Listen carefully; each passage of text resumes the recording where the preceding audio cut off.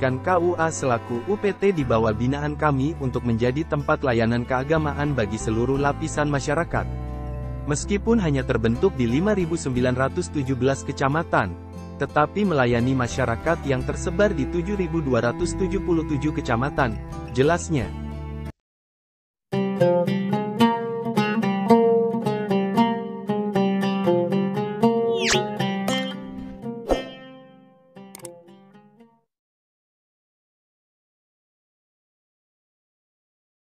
Saya terima nikahnya Dumai Lestari binti Andi Patawari dengan mas kawin seperangkat anak soleh dibayar tunai karena Allah. Saksi? Dilansir dari laman Kemenak RI, Menteri Agama Yakut Kolil Koumas mengatakan, Kantor Urusan Agama, KUA, selain menjadi tempat pencatatan pernikahan bagi umat muslim, juga direncanakan akan dijadikan tempat pencatatan pernikahan bagi umat non-muslim. Kita sudah sepakat sejak awal, bahwa KUA ini akan kita jadikan sebagai sentral pelayanan keagamaan bagi semua agama.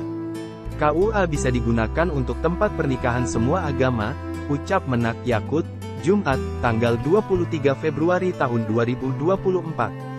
Hal tersebut ia ungkapkan dalam rapat kerja Direktorat Jenderal Bimbingan Masyarakat atau BIMAS Islam, bertajuk Transformasi Layanan dan Bimbingan Keagamaan Islam sebagai Fondasi Pembangunan Nasional yang Berkelanjutan.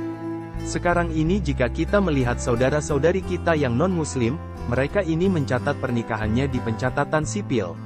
Padahal, itu harusnya menjadi urusan Kementerian Agama, lanjut menak dalam rapat yang dilangsungkan di Jakarta tersebut. Dengan mengembangkan fungsi KUA sebagai tempat pencatatan pernikahan agama selain Islam, Menak berharap data-data pernikahan dan perceraian bisa lebih terintegrasi dengan baik. Lebih lanjut, Menak juga berharap aula-aula yang ada di KUA dapat dipersilakan untuk menjadi tempat ibadah sementara bagi umat non-muslim yang masih kesulitan mendirikan rumah ibadah sendiri karena faktor ekonomi, sosial, dan lain-lain. Saya juga berharap aula-aula di KUA yang ada dapat dipersilahkan bagi saudara-saudari kita umat non-muslim yang masih kesulitan untuk memiliki rumah ibadah sendiri, baik karena tidak adanya dana untuk mendirikan rumah ibadah, atau karena sebab lain, jelas menang.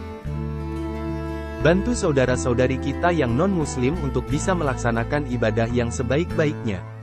Tugas muslim sebagai mayoritas yaitu memberikan perlindungan terhadap saudara-saudari yang minoritas, bukan sebaliknya, pesan menak.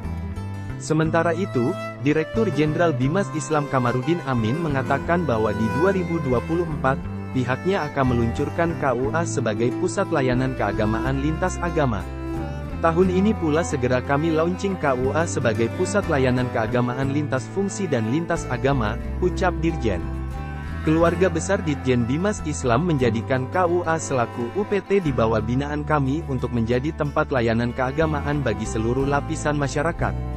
Meskipun hanya terbentuk di 5.917 kecamatan, tetapi melayani masyarakat yang tersebar di 7.277 kecamatan, jelasnya.